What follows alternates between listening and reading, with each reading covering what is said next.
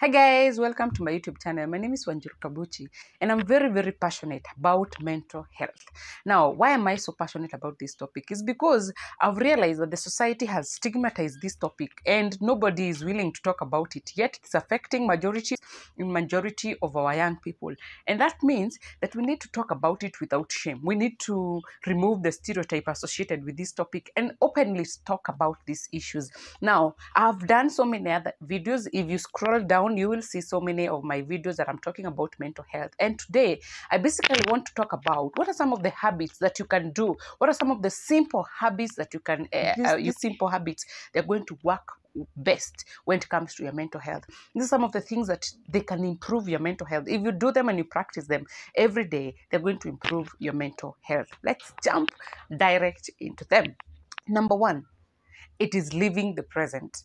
Now, I know that one, many people will say, oh, it is not easy. It is very, very easy. Now, many of the things that stresses us are things, are our failures, our past failures, our projection in terms of future, and things that we do not want to, you know, just let go. Now, living the present means what? That take each day at a time. Do not accumulate a lot of stuff. Now, your mind will not be able to fathom all this that you have accumulated your past failures, your past regrets, your past bad decisions, and all that. Now, if you keep on meditating on those past issues, then they're going to pile up and they're going to mess up with your mental health. So, today, I'm advocating that the first thing that you need to do that can really help you improve your mental health it is living the present taking each day at a time i know we do not we do have our uh, our decisions we do have our goals we do have our dreams our inspirations but at times they are hidden because of the accumulation of the past and the projection of the future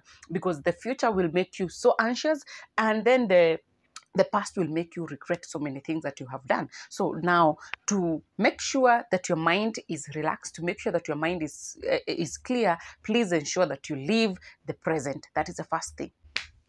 The second point that I want to emphasize it's to allow yourself feel the emotions.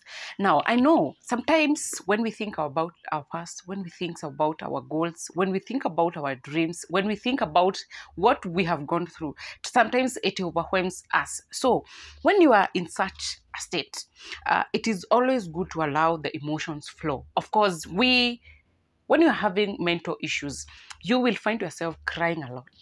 You'll find yourself sad you'll find yourself bitter, you'll find yourself distracted, and all these emotions. If you do not allow them to just, you know, flow, if you feel like crying, just allow yourself to cry.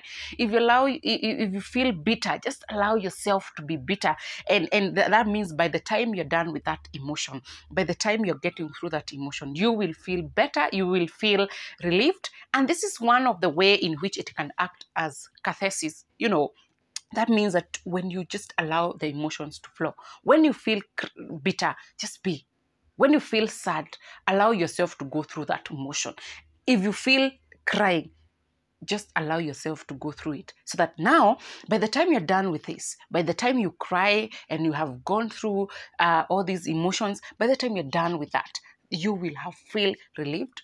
You will feel you will feel you want to start again and it will give you uh, you know energy to move on. And trust you me that some of these small small emotions like crying uh, feeling bitter isolating yourself uh, for, for some people to allow your emotions flow that means that by the time you're done with that kind of a, of a process you will feel better and you will surely calm down and you will come up with good uh, strategies to help you propel forward. So allow yourself to feel these emotions. Do not do not do not be so hard on yourself. If you feel like crying allow yourself to cry. If you feel sad allow yourself to be for that period. But again do not stay there. Wake up and continue. When you allow the emotions to to, to flow that means that you're going it is going to relieve off your chest. It's going to relieve off your mind. And by the time you're done you will be more clear and you will feel better. That is the second one. It's important habit that will help you improve your mind uh, the next important habit that will surely help you to improve your mental health, best for your mental health, is setting healthy boundaries. Now, I know the society that we are living in, topics and standards and marking schemes have been set. But let me tell you, if you think critically about the issues that are really health, uh, stressing you up, could be that they were first contributed by the society uh, before they even you know start messing up with your mind now when you say setting healthy boundaries what does that mean i didn't say that you isolate yourself from people no but setting healthy boundaries. This is what it means. That if they start a topic that messes you up mentally, please just go. Allow them to know that this is where I cannot start talking about any of the of the issues that I've gone through. Now, for instance, I will just give a, a one example. Where we're living in a society which defines success in different so many other ways. Defines success in terms of career, defines success in terms of achievement and all that.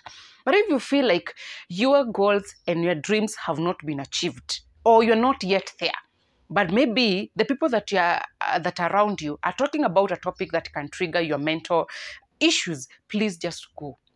If they ask you and they intrude into your privacy in terms of your life, please allow them to know that this is my boundary. I do not talk about this issue uh, beyond this point. So when you set health boundaries and you let everybody know, let your families know that this is where you, you draw the line when it comes to talking about certain issues. This is where uh, you draw the line between you and your friends. You cannot talk beyond that, that, that point. Then that one is going to make them understand that you're not isolating yourself from them, but generally you have just set yourself some healthy boundaries. This is will prevent you uh, from a lot of uh, from a lot of stresses. Now imagine people have started talking about a topic that is interest you or a topic that triggers you to start thinking about your past failures uh, and being anxious about the future. Uh, and that one is going to mess up your mentors. So if you listen and if you sit together with them, chances are that you're going to be messed up mentally. So when you set uh, boundaries let them understand that these boundaries you're not isolating yourself from them but you're setting these boundaries for the sake of your mental health for the sake of your peace for the sake of your uh, of, of your well-being. And there's a joke that goes around that says that you think that uh, uh, i am not healthy or you think that uh, all is not working well. Is mental health uh, is peace of mind uh, a joke to you? Because mental health it's very very important. And peace of mind it's very very important. And some of these things if you do not set boundaries they're going to help to contribute to significantly into messing up your mental health. So why don't you just say that from me and and from where i sit then i've set boundaries. I do not talk about this issue. I do not set about i do not talk about this topic. And do not don't allow anybody to you know pressure we, you with the, their own their own define to you what it means to live a, a life. Because people out here have lived their life differently and they really want others to live the way they have lived so that now they will you will hear them giving phrases like eh, tumeishi kuishi kwingi kuona mengi. That is very true. But that doesn't define you. It doesn't define your path. It doesn't define your future. So what means that you take your path stick to it and set boundaries. Tell them that I do not talk about a certain topic beyond this point. I do not talk, I do not engage myself in certain topic. I do not uh, engage myself in certain discussions and you're not doing that for because you hate them no this is setting healthy boundaries and they're going to work wonders when it comes to your mental health try that and you will come back and tell me how you feel that is the next one and the last one, this isn't the what I always say. The last one is self care. Nobody will tell you about self care. Nobody will tell you now sit down, I take care of yourself, or I take care of you. Nobody.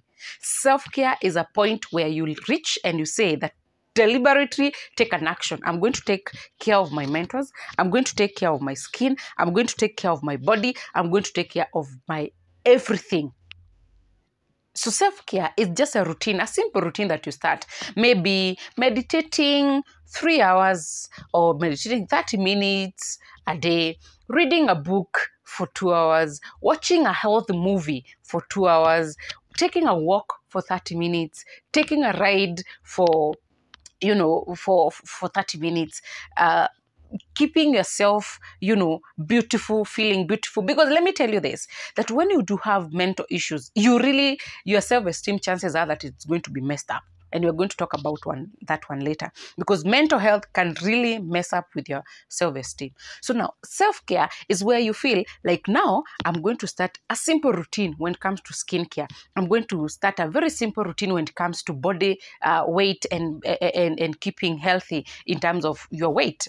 Now those simple simple stuff they will help you improve your self-esteem. They will help you in improving your mental health. And trust me if you do that simple skincare it will make you feel beautiful. It will make you feel you know relaxed. And you will understand that these small small things that you're going to engage yourself in like for instance of course skincare uh, checking on your weight eating healthy those small small habits they're going to help you and you feel relaxed love yourself better. If you feel you, you look at yourself you have shed some weight. Because chances are that when you're having your mental um, your, your your mental issues. You're not going to take good care of yourself. You're not going to take care of your skin. You're not going to take care of your uh, of your weight. Some chances are that you're either going to add a lot of weight or then reduce weight drastically to a point that you feel uh, uncomfortable with. So that if you do simple skin care simple health eating these these these ones are going to improve your health whether you like it or not. It, they're going to improve your mentors drastically you're going to feel better. So what am i saying? That i'm saying that for you to feel better for you to feel your mentors are going uh, the right direction start some small personal care. Self-care very very important. So that at least by the time you're moving out of the house you feel beautiful. By the time you are uh, going to work you feel beautiful. Because i know when it comes to mental health you might be in a point where everybody can just look at you and see that you're having some issues but do not allow yourself to get to those points we have our goals we have our dreams we have our inspirations we have made decisions that have costed us our peace but we are not going to stay there. We're going to rise, take care of ourselves, take care of our skins, taking care of our weight, checking and eating healthy, and we feel better again. And of course, you do not have to go broadcasting your problems out there. We all have our problems. Yes. But now start a self-care routine that will help you improve your mentors. If you find this video very, very important and you find the points that I've talked about workable, please uh, consider it a chance to subscribe to my channel. And I'm going to really, really appreciate. My name is Wanjiru Kabuchi. I'm passionate about mental health and I'm going to talk about this topic without shame and without prejudice.